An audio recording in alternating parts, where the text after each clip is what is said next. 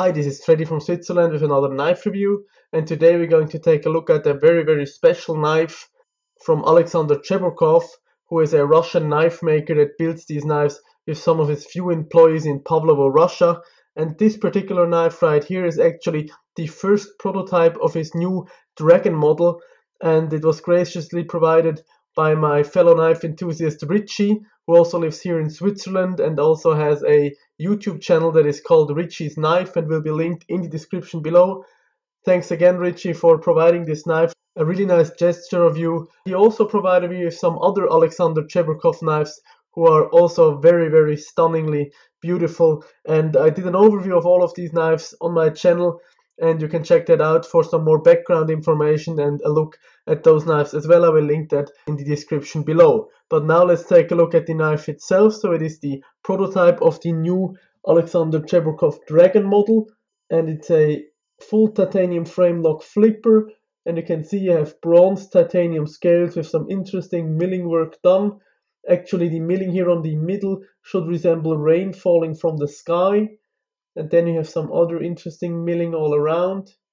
If you flip it to this side, you can see the same milling on the lock side, a nice 3D milled pocket clip, and some interesting uh, inlays here, which are actually glow in the dark spots. So really cool. I don't know if that is going to make it onto the final version, but now let's take a look at the specs of this knife. So if you open it up, we can see an overall length of 22 centimeters or 8.8 inches. Then we have a blade length of 10 centimeters or 3.9 inches of a laminated D2 steel. Then we have a blade thickness here on this knife of around 3.5 millimeters. Here you can also see the nice sandwich structure of the laminated steel. And then we have a handle length of 12.5 centimeters or 4.9 inches. So a really nice, good sized knife here out of Russia. They really like to build those larger knives. As you can see here, I have quite a bit left on the handle, but it feels surprisingly ergonomic in hand, even though it is quite a straight design, as you can see here. It's really uh, some kind of a Kwaiken design because the blade hides nearly completely in the handle if you look at it that way. So really cool and interesting design. And now let's take a look at the weight of this knife. And this knife weighs 143 grams or around 5 ounces. And I think for the overall construction of this knife, that is about the weight you would expect for a full titanium folder that also has a nearly 4 inch long blade with a 3.5 millimeter of blade stock. And unfortunately, they did not mill out any pockets here on the inside of the quite thick titanium uh, I'm not quite sure if that is only because it's a prototype model, because Alexander Cheburkov does a lot of uh, milling on most of his other knives. If they don't have an inlay in it, uh, he really heavily mills them out to save some weight. So I uh, think that on the production version, there will certainly be models available with some skeletonizing, uh, judging from his other models. But that would be certainly a thing that I would like to see on a final version of the Dragon, some milled out pockets on the titanium to lighten the knife a bit up.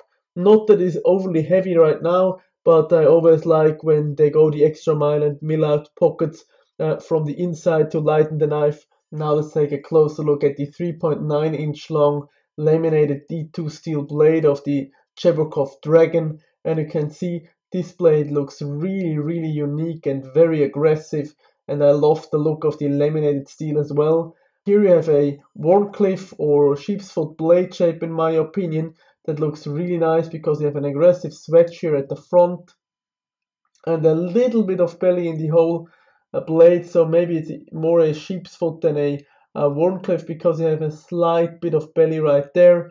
Then you have a flat grind from pretty high up as you can see here and it comes to a quite fine edge and you can see there is no flaring out here at the heel. The plunge grind really clears the cutting edge very well and you can see you have a quite thin cutting edge here at the end and you also can see the nice structure of the laminated steel really gives this knife a very unique look. Of course you have the Alexander Cheburkov logo. Here on the flat part of the blade you have the Cyrillic letter for Che which stands for Cheburkov and then around it you can see the outline of a Viking style boat, which is also in the flag of Pavlovo, the location where he builds his knives. If you flip it around, we can see another marking here on this side of the blade near the flipper tab, and that is the date when this knife was made. So we have 2016 and then the number 2, and that stands for the second quarter uh, of 2016. One thing you can see here on this view is also the detent track, so it is not hidden inside the handle. You can actually see it from the outside, and that is always a pet peeve of mine. I always like when the detent track is hidden inside the handle, so that would be uh, a change I would make for the final model of the Dragon, but that is certainly uh, a pretty small uh, nitpick. And uh, I cannot tell you too much about this laminated D2 steel because, as I said, this is not my knife and it is a prototype, so I'm not going to uh, beat on it. But uh, as far as I know, uh, D2 is quite a nice steel if you harden it the right way. It certainly stays sharp for quite a long time and the only drawback of the D2 steel is of course that it is a tool steel so it would be prone to rusting but if you laminate it with some uh, very rust resistant steel you certainly don't have these problems so it's the best of both worlds so a really nice uh, thing that they chose this laminated steel and of course it also looks really really gorgeous in my opinion and you can also take a look at the tip thickness so nice fine tip to do some detailed work as well. So overall, a really nice blade shape here on the Cheburkov Dragon, and I also like um, the steel choice with the laminated D2. Now let's take a closer look at the handle construction and design of the Cheburkov Dragon. And you have seen before that it is a full titanium frame lock design, and you can see you have some nice milling work done here on the presentation side, and also a nice bronze anodizing here on the titanium frame. So really good looking. And also the finish on the titanium is rather smooth, so not a bead blast or anything like that, just a nice smooth finish and then the bronze anodizing. You also can see that you have only two points of contact. You have your oversized pivot screw right here and then your body screw here in the back and they are nicely finished. You can see here you have a decorative pivot cover right there that is domed and protrudes a little bit out from the handle and you can also see that it is nicely finished and fitted to the handle right here and then you have your body screw cover on the presentation side as well that is flush with the handle as you can see here and uh, nicely finished. And you can also see that the color of these screws is very very similar to the overall frame of the knife. And that is quite an achievement considering that these screws are actually steel and not titanium. I actually don't know how he achieves this uh, color of these steel screws uh, but he does and it really looks nice and uniform. If you flip it around, we can see the business end of these screws. So you can see here that these screws are actually torqued, so easy to adjust and take apart. You also have your screw here for your stainless steel lock insert. And then we have our body screw here in the back as well. And uh, one thing that I noticed is that the body screw here on this side is not actually flush with the handle you can see that there is a little bit of a step, so it's actually countersunk, uh, but I would like to see uh, this screw also flush with the handle as well as here on this side, so that is a little bit of a nitpick I have on the finishing of the screws right here. Then if you take a look here at the pocket clip, very, very good looking pocket clip that fits the design very well.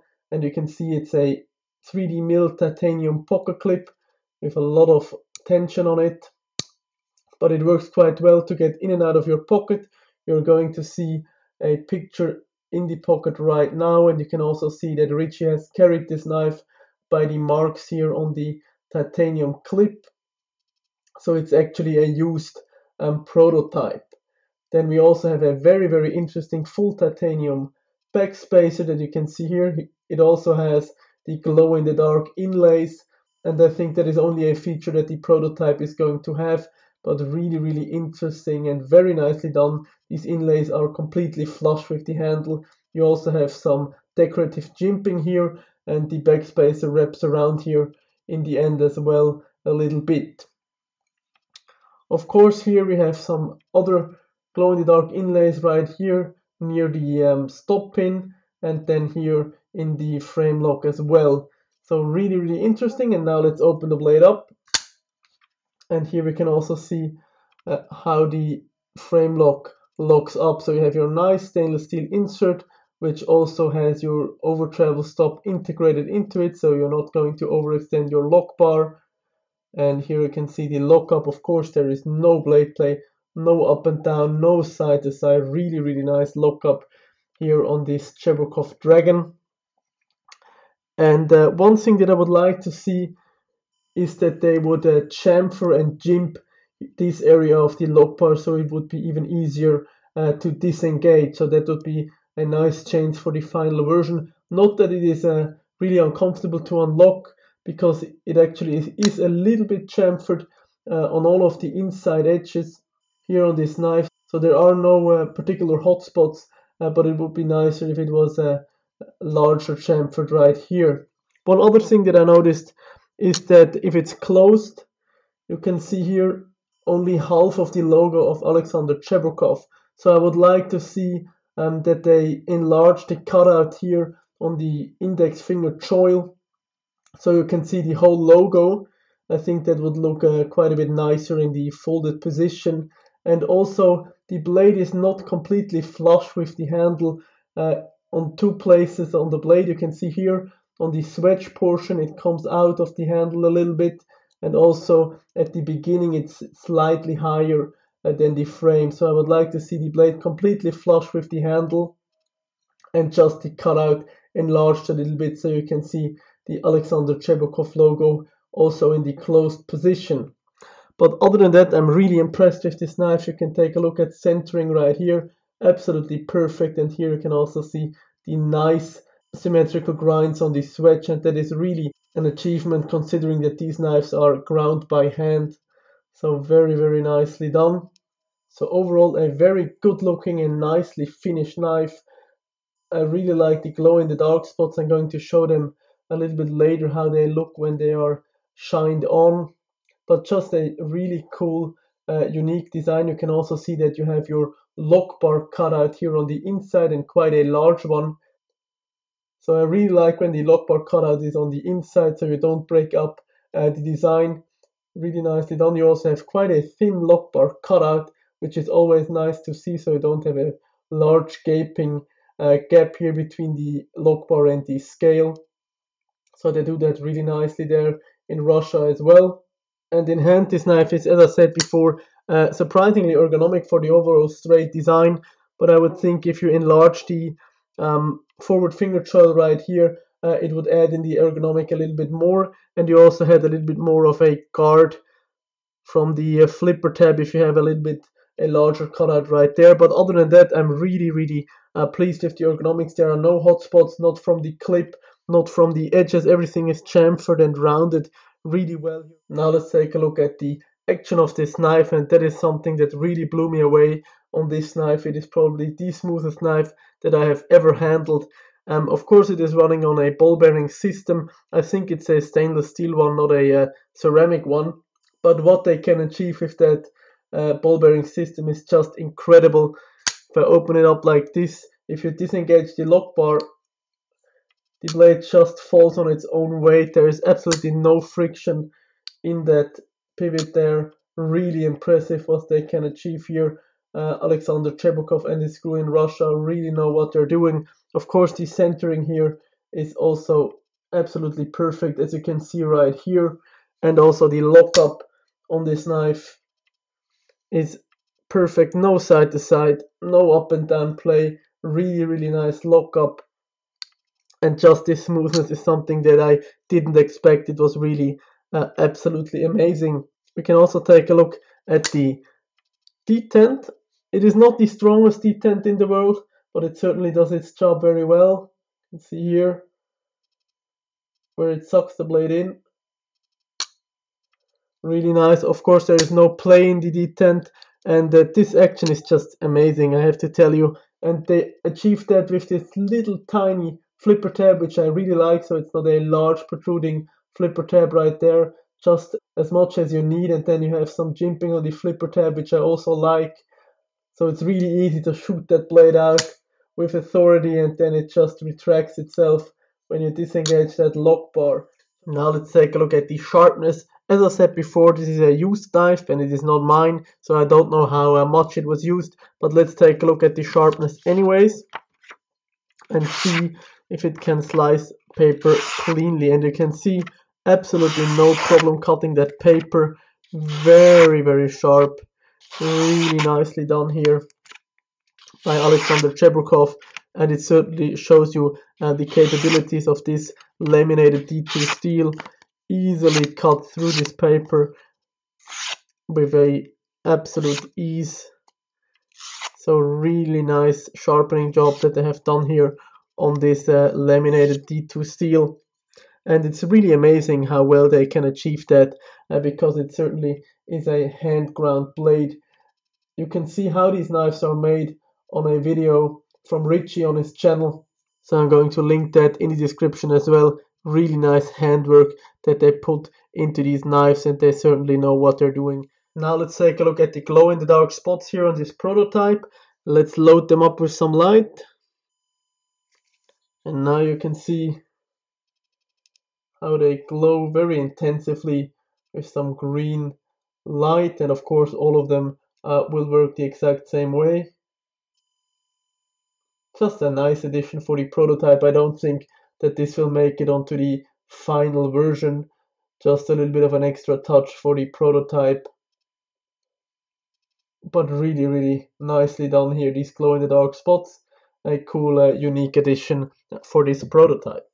Now let's come to the size comparisons that I like to do. And first off, I have an affordable size comparison, one of the quintessential uh, Kwaiken designs in the knife market today. And is, of course, the Böker Plus Kwaiken designed by Burnley. And you can see size-wise those two are quite close. Uh, the Dragon is a slight bit longer overall, as you can see, but both of them are really nice Kwaiken designs. I actually like the Wharncliffe's or Sheep's Foot style blade on the Dragon uh, a little bit better than the pointy one here on the Kwaiken by Böker. And you also have here custom scales by Coscadi. Their Skynet scales also have a a glow in the dark spacer right here. So a lot of similarities there, but uh, of course the Chebrukov knife is quite a higher end knife than the Boker Kwaiken. The next comparison I have for you is going to be the Chinese high end knife. it is the um, WeKnife 601, so their first model that they brought to market. Also a really nice knife. You have S35 VN steel right there and here you can see size-wise those two are also very very similar both are really nice knives but the action on the Chebrukov is quite a bit nicer than on the WeKnife and the WeKnife also has a really nice action as you can see right here but not quite on the level of the Alexander Chebrukov Dragon and the last comparison I have for you is going to be another Chebrukov knives that was provided by Ricci and it is the Chebrukov Scout and this is an extremely beautiful knife. As you can see here marbled carbon fiber insert stainless Damascus blade. Absolutely gorgeous. And size wise you can see that the blade is nearly identical but in the handle you have a little bit of extra room there on the scout. Really really gorgeous blade. A little bit a chunky one but just absolutely gorgeous now let's talk about value and price and come to a final conclusion about this knife so because this is a prototype, it's a little bit hard to do this discussion, but uh, all the Chebrukov knives that I have seen so far range between around 300 to 700 euros in price. And I think this one is going to be around in the middle there. Of course, depending on the different versions uh, that they will offer, I think there will certainly be uh, versions with some inlay work because he really does amazing inlay work uh, in his shop, as you have seen here with the carbon fiber marbled carbon fiber insert right here. He also does some wood and some other carbon fiber variants that will be probably available also uh, for the Dragon. But as it stands right now, I think this is an awesome, awesome knife. The action is uh, out of this world. Very, very impressed with that. And uh, of course, the overall design really appeals to me. I like these kwaiken designs and uh, also really like the laminated D2 steel. It looks awesome and certainly is going to perform very well. I would classify this as a semi-custom because there is so much handwork going into these knives. As I said before, there is a video where you can see that on uh, Ricci's channel. So a lot of handwork uh, by Alexander Chebrokov and his few employees uh, to put these knives together.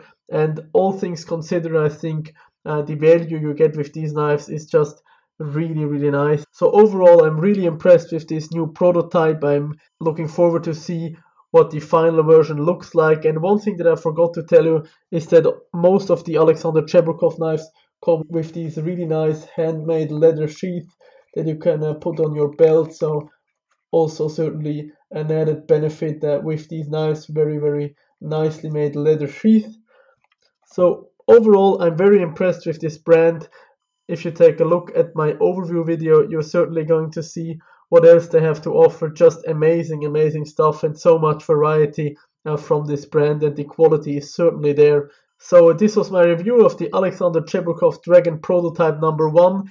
Thanks again to Ricci for providing me with this very unique knife. And if you liked the video, please give it a thumbs up. If you have any questions about this knife or anything else, please leave it in the comments below. And if you want to see more of these knife gun and gear videos, Please subscribe to my channel. Thank you for watching. Have a nice day and goodbye.